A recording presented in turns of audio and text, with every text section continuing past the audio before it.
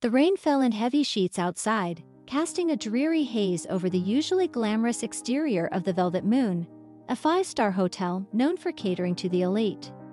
Inside the opulent lobby, the bustling activity continued as guests arrived and departed, attended to by the ever-efficient staff. Mr. Watson, the hotel's concierge, prided himself on maintaining the highest standards. His sharp eyes scanned the check-in register, and he barked orders at anyone he deemed too slow or careless. Carla, I told you to shine this floor. It's smudged again. Mr. Watson called out, glaring at the janitor. But sir, I just mopped the reception area, Carla protested. I don't care. Do it again, or I'll see to it that the manager hears about your lack of effort. This hotel must always be spotless. Mr. Watson twirled his mustache with an air of superiority, believing that every detail, no matter how small, contributed to the hotel's prestige. As Carla scrambled to obey, the grand double doors of the hotel lobby creaked open, allowing in a man who looked out of place amidst the luxury. He was drenched from head to toe, his shabby clothes clinging to his thin frame. His hair was disheveled, and an unpleasant odor clung to him. Excuse me, ma'am, the man approached the receptionist, his voice tired and hoarse. Can I get a room for the night? The receptionist's expression twisted into one of disgust as she leaned back, recoiling from the smell. Before she could respond, Mr. Watson, who had overheard the exchange, stepped in. Is there a problem here? Mr. Watson asked, though his tone suggested he already knew what was wrong. He eyed the bedraggled man with contempt, wrinkling his nose. Sir, I need a room. I missed the last bus, and it's pouring out there, the man explained, his voice pleading. Mr. Watson took a step closer and immediately regretted it. Good heavens! What is that stench? Are you serious? This is a five star establishment, not some roadside inn for drifters. Look at you. You should consider a visit to a public restroom before even thinking of setting foot in here again, you reek. The man stood there, defeated yet determined.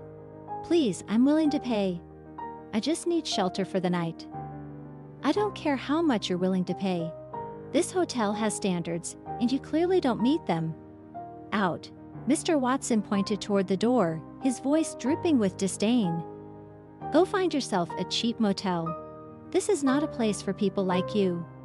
The man's face flushed with humiliation, but there was nothing more he could say. He turned around, lifting his old suitcase, and walked back out into the rain. Mr. Watson watched him leave with a smirk of satisfaction. Disgusting, he muttered under his breath.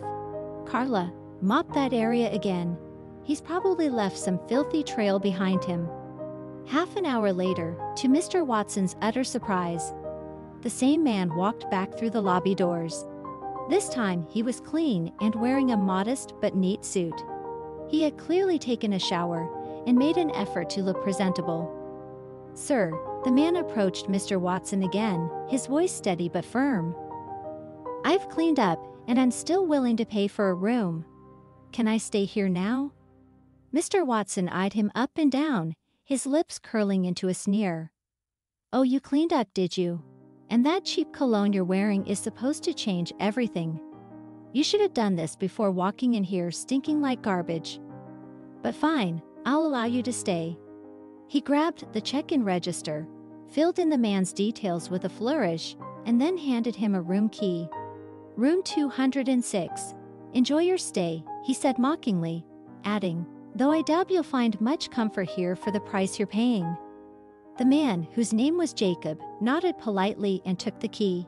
He was tired, cold, and wanted nothing more than to rest. But when he entered his assigned room, his hope for a peaceful night evaporated.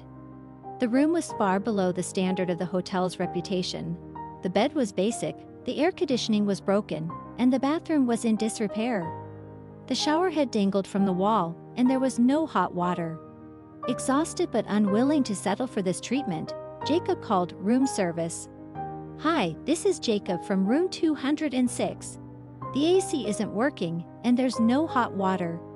Can someone come fix this? The attendant on the other end assured him that someone would be sent up immediately. But an hour passed and no one arrived. Frustrated, Jacob went back downstairs to speak with Mr. Watson. Sir, Jacob began, trying to keep his temper in check. I reported issues with my room over an hour ago, but nobody has come to fix them. Mr. Watson barely glanced up from his phone. I'm sorry, but we're short-staffed right now. You'll just have to deal with it. But I'm paying for a room that should come with functioning amenities. Surely there's someone who can help. You get what you pay for, sir. This isn't some luxury suite, you know, Mr. Watson replied with a smirk. Now, if you'll excuse me, I have more important matters to attend to. Fuming, Jacob stormed back to his room. Later, he decided to head down to the hotel restaurant to get something to eat. He chose a quiet table by the window, hoping for a peaceful meal, but Mr. Watson appeared almost immediately. What are you doing here? Mr. Watson hissed. This area is reserved for our esteemed guests. Jacob frowned. I'm a guest, aren't I? Not the kind that belongs here. We have a different seating area for you, over there.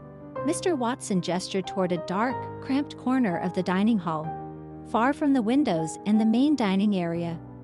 Go on, move. This is ridiculous, Jacob muttered, but he had no choice.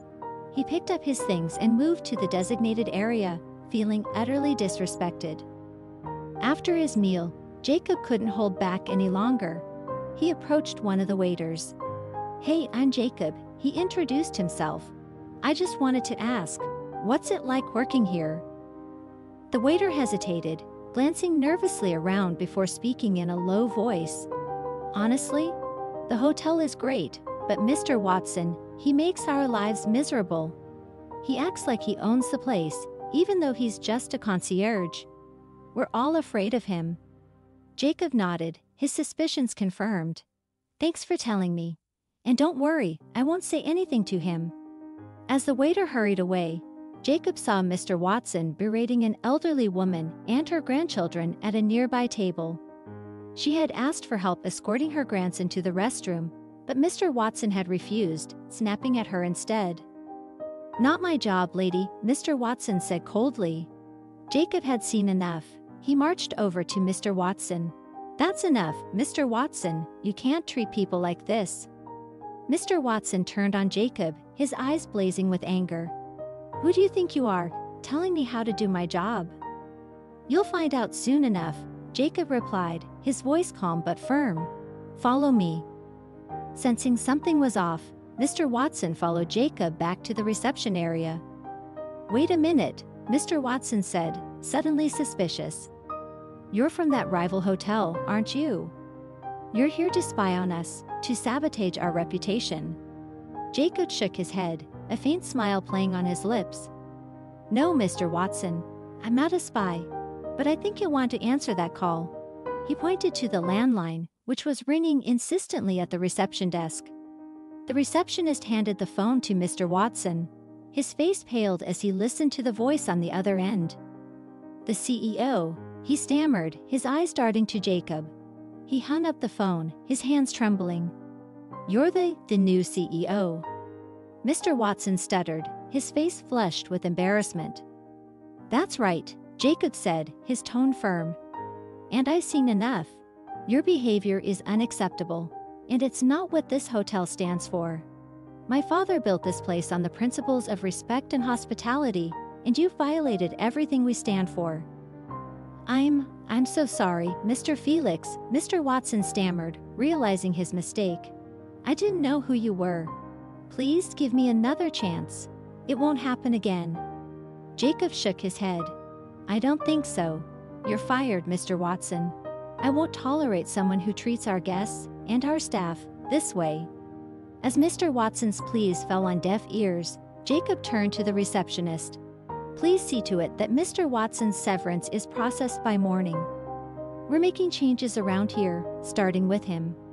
And so, from that day on, the Velvet Moon became a place where all guests were treated with dignity and respect, regardless of their appearance or background, with Jacob Felix leading the way as its new CEO.